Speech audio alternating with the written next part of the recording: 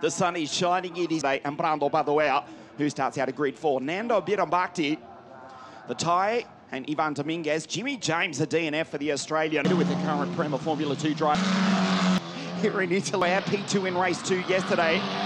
An almighty crash has crashed into the back of the 130 k's an hour. Brasilia, we say bom dia a nossos amigos. Assistim in effect start from pole position. It's grid two. Yes, It is 36 cars here at Imola. And the cars set off on another formation lap. Nervous moment there for Nicola Lacorte, but now he's back on the way. The cement dust, some nerves into grid two. Then it's Branetti. Might start after that. The Van Thought Racing Team driver, car seven from Brasilia, Matias Ferreira. For the second time here this morning, we race.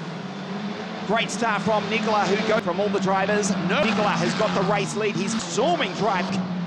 Elkin into pit lane. Thought Racing drivers. Move up the inside. There is Jean-Marco uh, Matteo De Palo. And it's Jack. Valentin Kluss, the German. Paulo too far back.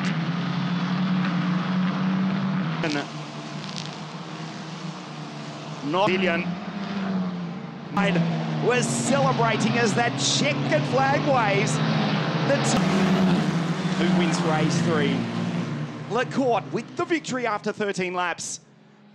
Lindblad, another P2 for the Red Bull Junior. The Londoner in position two. Dominguez